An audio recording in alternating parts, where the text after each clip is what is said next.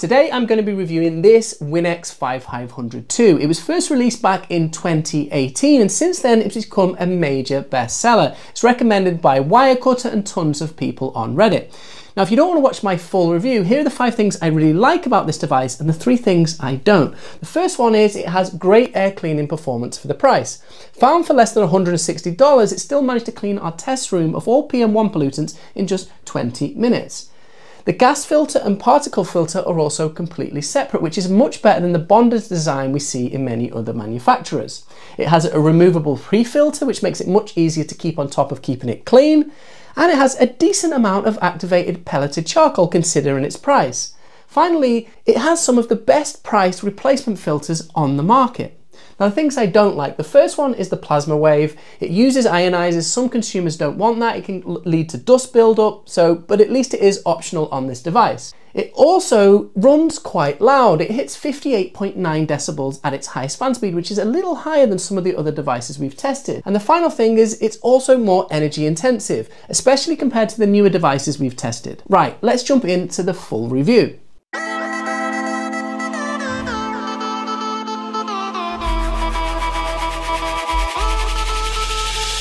Get onto the design of this device. As a pretty traditional air purifier design, uh, the, the filters are at the front of the device. This just makes it easier to remove. Also means you can have a removable pre-filter. The air is pulled through inside here, so it goes through the filters and then clean air is fired out the, out the top of the device uh, through the air vent at the, at the top.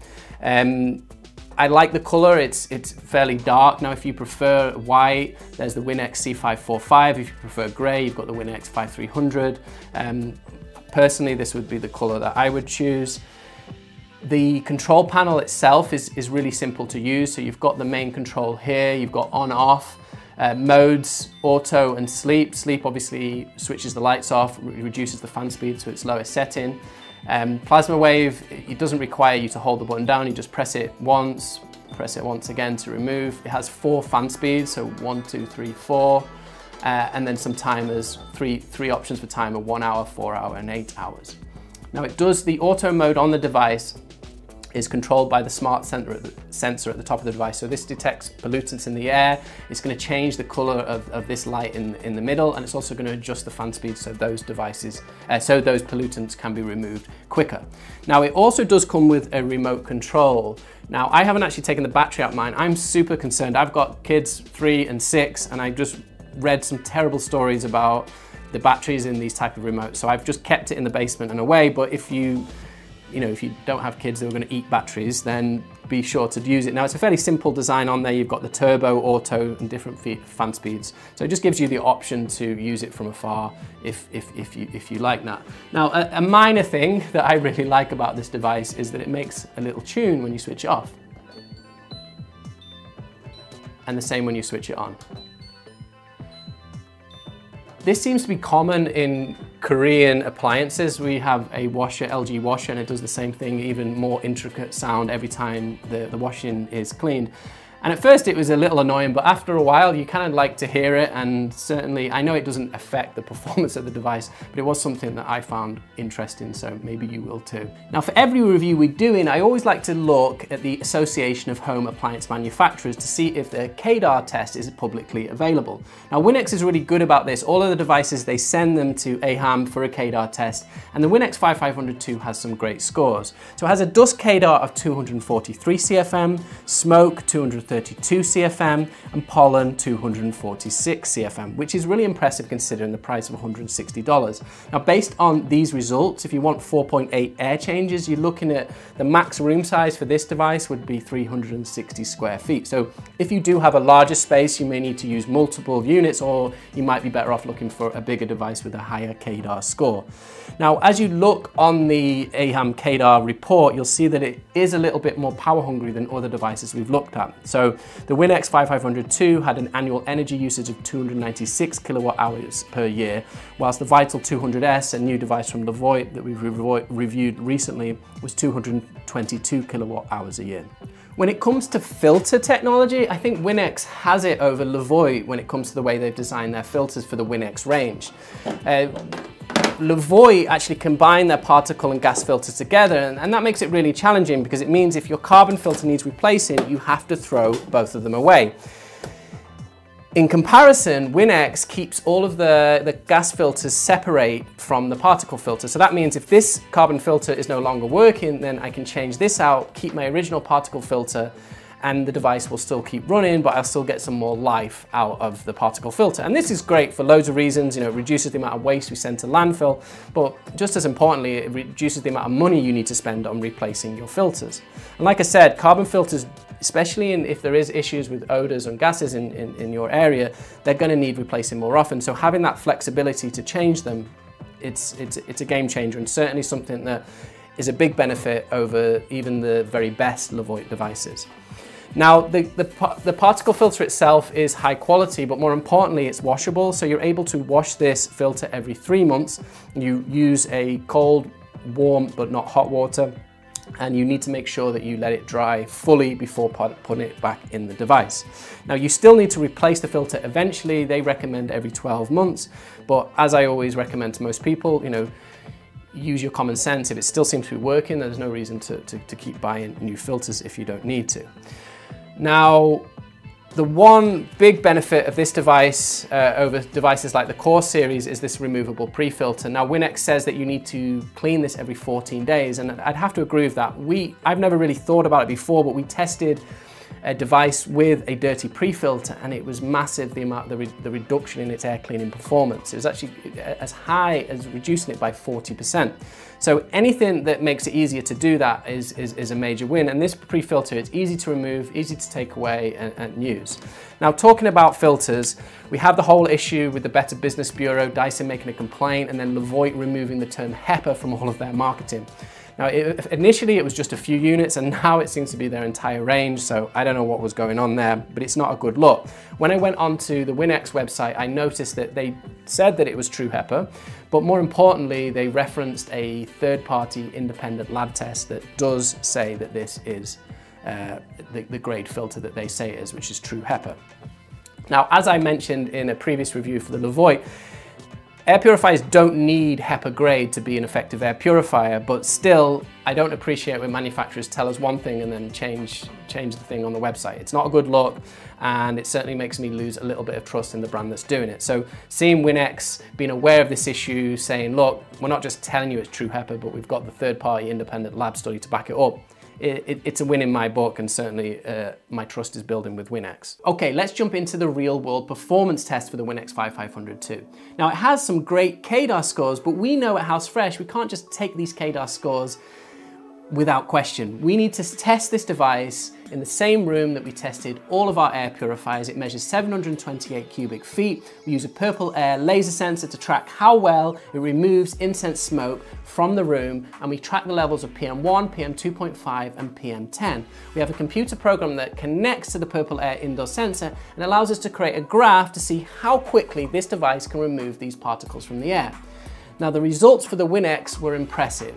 It took only 20 minutes to remove all PM1 pollutants from our test room. Now this compares really favorably with other devices we've tested. So for example, the Blueair 311 Plus took 21 minutes but cost $349. The Core 400S at over $200 took 22 minutes. The Breathe Smart 75i took 24 minutes at a whopping $749, and even the IQAir Health Pro Plus took 24 minutes in comparison and cost nearly $900. Now, it was beaten for pure performance by the Levoit Vital 200S, but that is our best device of this year, so it's really not a bad thing, and it was still within the range, uh, the same cleaning range. What's interesting when we look at this data, that actually the Winix 5500 2 is the cheapest device when compared to similar performing units, which makes it really, really impressive. Now I mentioned before about plasma wave and many people don't want to use it for lots of different reasons, whether it's accumulation of dust or they have sensitivities to any sort of ionizer. So I wanted to make sure when we tested this device, we also tested how well it performed without the plasma wave. So many of my readers will want to use this device with plasma wave, so what can they expect? When we tested it in the same room, doing the same job, it took 23 minutes. So it's clear that the plasma wave does have a positive effect and it reduces the speed of cleaning particles from the air, but if you weren't going to use the plasma wave, it's still going to be an effective air cleaning device. Now, another bit of feedback we got from a review here on YouTube, so please, if you have feedback on ways we can improve our test, let me know. I will implement them and it will make reviews better for everyone. They mentioned that most people aren't gonna to want to use it at its highest fan speed, because that's fair, especially with this device, it runs quite loud. We'll get to the sound test later. Uh, so I made sure to test this device running at speed three. And I was impressed by the results. It only took 27 minutes to remove all PM1 pollutants which considering that speed 3 is much quieter than speed, the, the, the top speed, this is really effective. And I have to say, overall, our performance tests match up with those really impressive CADR scores. It's clear that the Winix device is a very effective air cleaner, which is impressive considering it's found for such a low price of $160. So I'm starting to understand why this is a device that's recommended by so many people and decent publications. Whilst air cleaning performance is the main thing to look for when choosing an air purifier, it's not the only thing, and the second most important thing is the amount of sound that's generated. If an air purifier is great at cleaning the air but sounds like a jet engine, it's unlikely you're going to want to use it, it's going to be switched off and it's not going to do any help. So that's why we always use a sound meter like this at three feet away to see how much sound is generated at each of the fan speeds. Now, as of this year, we've been recording all our sound tests, so you can have a look for yourself, but here are the results. So at speed one, it was 38.8 decibels. Now be aware, the background noise in our location is quite high, so it may be lower than this. Uh, speed 2 was 42.5 decibels, speed 3 47.5 decibels, and top speed, speed 4 was 58.9 decibels. Now sound can be very subjective. Now for me personally, the highest fan speed was a little loud for me to be using on a regular basis, but please have a listen for yourself.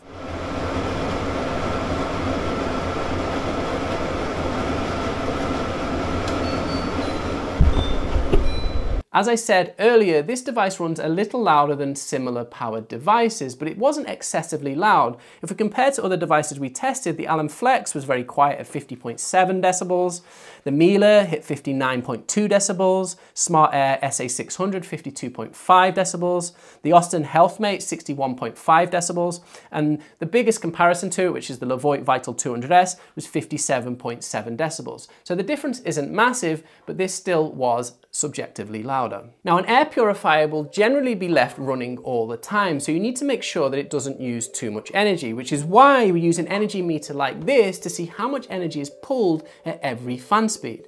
And here are the results for the Winix 5500 too. So on standby it used 0.34 watts, at speed 1, 6.5 watts and 7.1 watts with plasma wave. Speed 2, 9.11 watts and 9.2 watts with plasma wave. Speed 3, 14.8 watts, 15 watts with plasma wave. And speed 4, the highest speed, 53.46 watts and 53.8 watts with the plasma wave. Now I made sure to include the energy usage with the plasma wave just to really see how much energy it used. And it's clear it wasn't that much extra, especially at the lower fan speeds. Now, at its highest fan speed, assuming that you run this device at the highest fan speed 24-7, 365 days a year, it's going to add an additional $81 a year.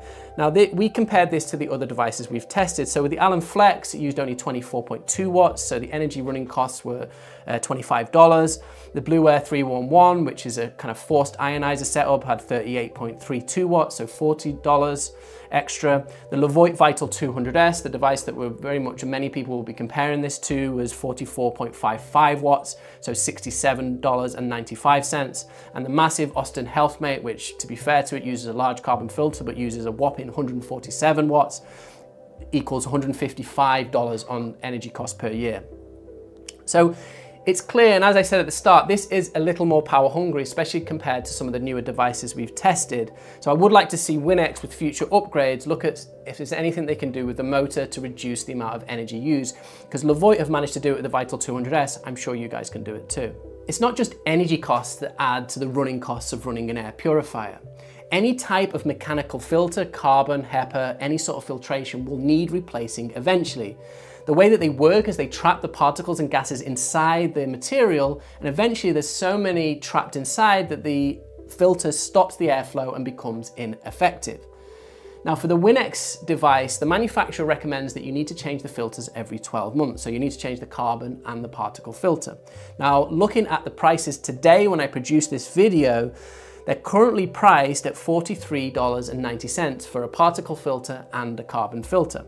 Now, I have to make you aware that there is an RRP of $79.99, so when you may go on to buy the OEM filters, they might be higher cost, but I am using the cost right now when I'm producing this video.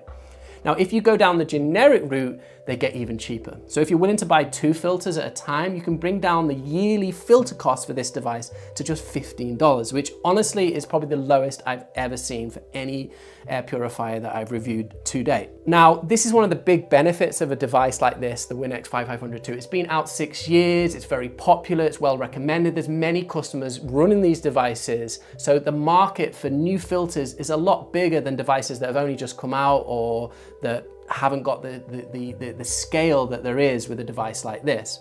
So you really do get some long-term benefits for choosing a popular device over, say, a new device that no one's heard of. Now, I wanted to do some comparisons with the filter costs and also the running costs of, of running device with some of the other devices we've tested.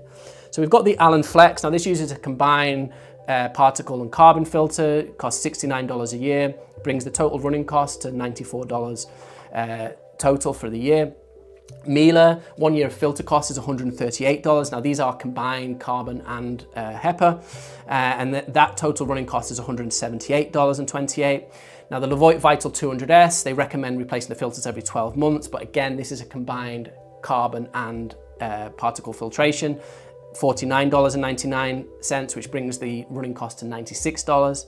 Now the Molekule Mini, a device I'm not a big fan of, one year of filter cost is a whopping $199.98, which brings the total running cost for this device to $264. In comparison, the Winix, it has know, one year of filter cost at $43.90 is really one of the lowest OEM filters we've seen, which brings the total running cost to $125 a year. But be aware that many of the devices I'm comparing to, they have this combined particle and gas filter. So in, in, it's most likely you're gonna get more longevity with the filter design of the Winix devices than you are with devices from Levoit, Alen, or Miele. So what do we think of this device? Is the Winix 5502 still worth it in 2024? I mean, it came out in 2018, it's over six years old at this point. But there's a reason why Wirecutter and Reddit are regularly recommending this device, and that's because it's a really effective air purifier, especially when you consider its price. It performed as well as some of the best air purifiers we've tested in our test, and whilst it's a little loud at fan speed 4, even at fan speed 3 it was effective at cleaning the air. Now the plasma wave will enable you to clean a little bit quicker, but it's also not a requirement. As our test shown, by switching off the plasma wave, it only added a few more minutes to the amount of time it took to clean the room. Now the only downside is really the amount of energy it uses, which adds to the long-term running costs. Which is a real shame because the filter costs for this device are some of the cheapest on the market. And I really appreciate the fact that the filters are separate. It means you're gonna get a lot more longevity out of these filters and it's gonna cost you a lot less in the long term. So if you are concerned about gases and odors and are not ready to spend the $700, $900 on devices like the Austin or the IQAir, then this device is definitely worth your consideration and really worth your consideration for any real use case. Now, if you don't like the design, there's a lot of other Winix options that you might want to check out, like the Winix C545 in white or the Winix 5300 in gray, although it has a not so good particle filter. Now, if you want to get this device or you have any other questions about this device, leave them in the comments. If you want to support our channel to help us buy new devices for testing, please use the links in the description and, and I'll see you in the next video.